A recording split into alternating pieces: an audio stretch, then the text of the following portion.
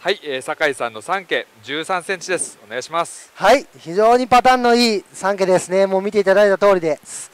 顔も入りもよくそして日がこちらも炭を避けるように日が出ております。出ておりますという言い方はあれなんですけど日がついております。そしてこの背中の大きい炭がいいですね。左右取ります。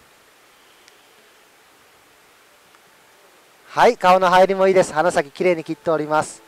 後半の方も、えー、紅白地バランスが取れております。はいサイドです。本当に紅の模様のバランスが非常にいい声です、ね。そうですね。ちょうどこれ見てもらうとここの墨もあの重ねじゃないんですね。本当にこう輪郭を描いたようなそうですね。墨の出方ですね。えまだね今ちょっと水温が低いんで、ー水温高いんで。水温ごめんなさい。水温が高いんで、水温が高いんで若干そうですねまあ水温性もありますしこうやって明るいところにずっと置いてると炭っていうのはやっぱり冷めやすいですけども。これ池で泳いでるとすごい綺麗でしたねこの鯉もなかなかいないいいパターンですよね。ちょっと泳ぎが速くて見づらいかもしれません。すいません。ち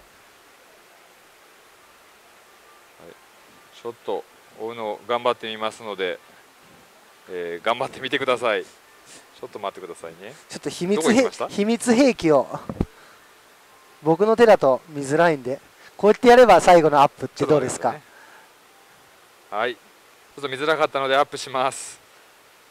はい、いかがでしょうか？